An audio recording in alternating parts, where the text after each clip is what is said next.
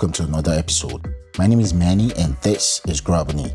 Today, I'll be showing you how to make a very quick and easy alkaline friendly fonio recipe. Let's go to Jos, Nigeria.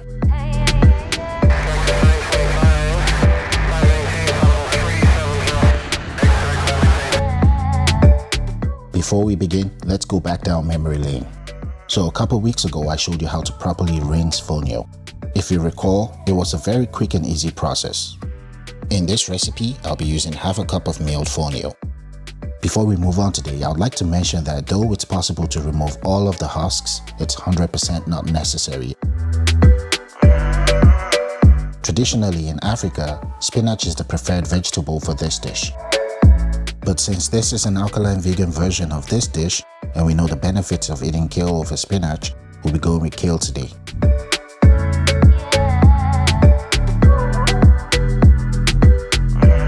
Gently pluck the leaves of your kale from their stems using your hands, then give them a rough chop using a knife.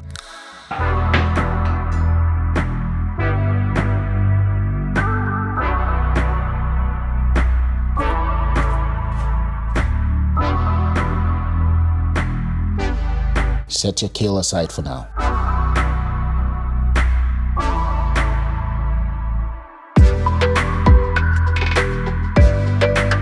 Slice a handful of cherry tomatoes in half and set aside. Add some grapeseed oil to a preheated pot set to medium high. Once your oil is hot, add and saute some chopped onions until translucent. Add your cherry tomatoes and saute for about 3 minutes.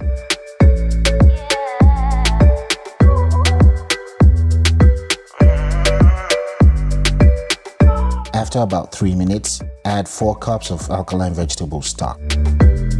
Now if you don't know how to make alkaline vegetable stock, I suggest you watch my video from last week. Click on the link above to get to that video. Add 4 cups of alkaline veggie stock or veggie broth.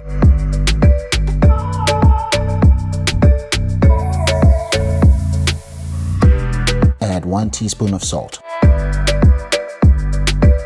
Add half a teaspoon of cayenne pepper. Add 1 to 2 tablespoons of granulated onion. Add about 1 cup of cooked chickpeas.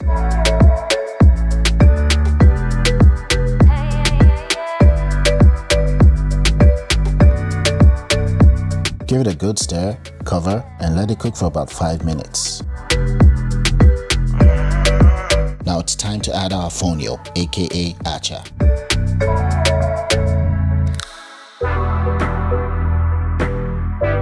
Gently add your fonio to the pot, give it a good stir, then cover and bring your heat down to low and let it cook for 5 minutes.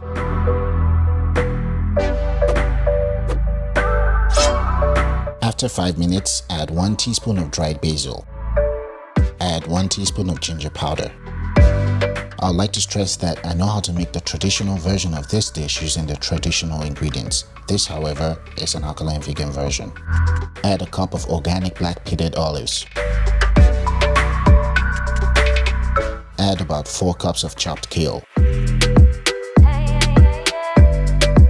Mix properly and let it cook for about 2 to 5 minutes on low heat.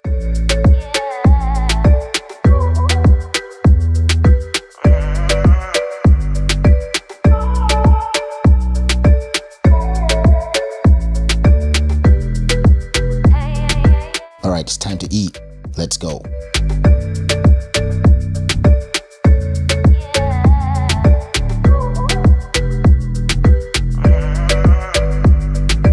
Traditionally, many people eat this with meat and bones, but who needs meat when you have my version of vegan meat? Click on the link above to learn how to make it.